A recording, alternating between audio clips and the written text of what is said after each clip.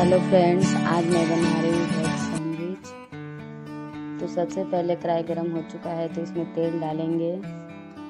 एक लाल मिर्च, बारीक कटा हुआ लहसुन, अदरक अब इसे बस थोड़ा देर पका लेंगे।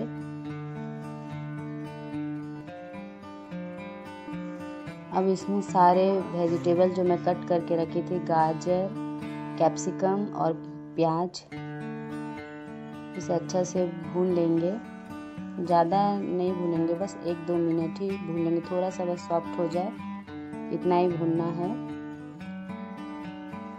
इसमें डालेंगे थोड़ा सोया सॉस दो चम्मच टोमेटो केचप, दो चम्मच ग्रीन चिली सॉस, दो, एक चम्मच स्वाद अनुसार नमक, और बस लाल मिर्च पाउडर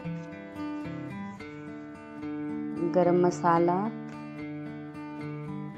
हल्दी, बस इसे डाल के अच्छे से मिक्स कर लेंगे। एक मिनट और इसे अच्छे से मिक्स कर लेंगे और तब तक कि मसाला भी पक जाएगा।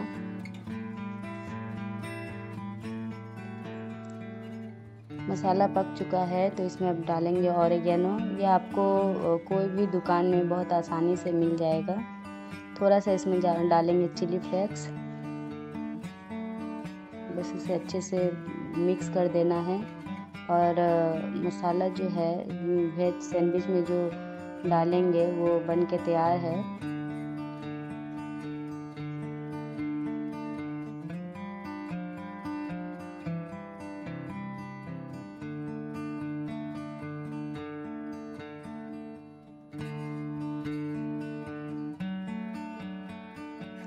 बेसन का घोल बनाने के लिए लेंगे दो कप बेसन।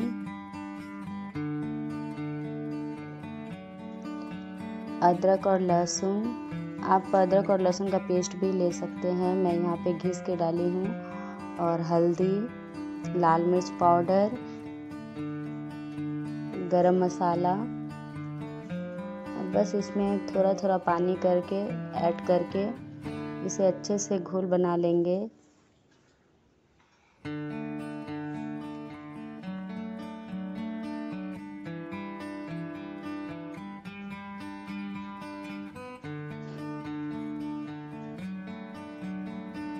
इसमें डालेंगे नमक, स्वाद अनुसार, और फिर अच्छे से मिक्स कर लेंगे।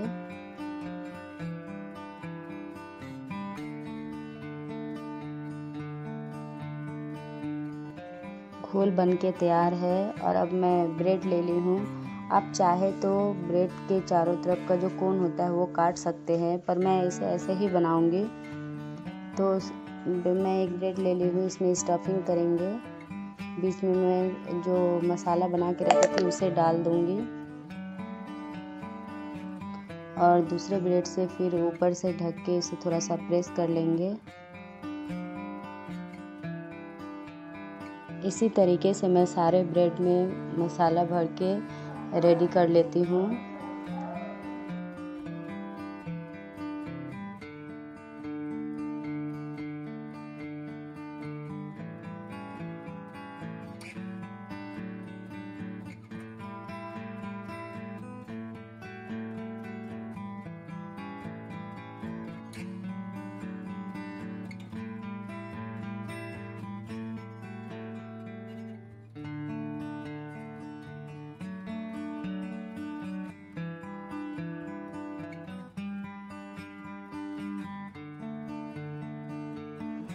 सारे ब्रेड को मैं अब बना के रेडी कर ली हूँ और अब इसे बेसन के घोल में डिप करके, कोटिंग करके चारों तरफ़ देखिए कितना अच्छा से हो गया है। और बस तेल गरम हो गया है तो मैं इसमें डाल दूँगी और इसे मीडियम फ्लेम पे ही फ्राई करें। नहीं तो हाई फ्लेम रहेगा तो बहुत जल्दी ही पक जाएगा और अंदर में जो है कच्चा ही रह जाएगा। इसलिए आप मीडियम फ्लेम में ही इसे फ्राई करें।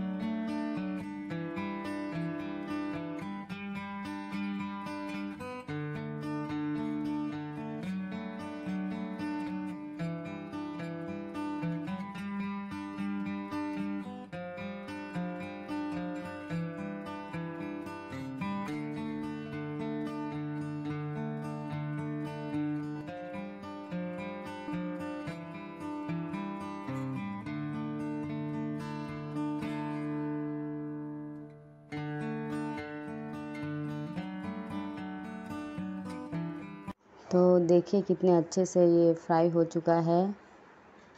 और इसे बीच से कट कर लेंगे और खाने में ये बहुत ही ज़्यादा टेस्टी होता है, शाम का नाश्ता हो या फिर बच्चों के टिफ़िन में आप दे सकते हैं। बहुत ही अच्छा है, टेस्टी है, हेल्दी भी है।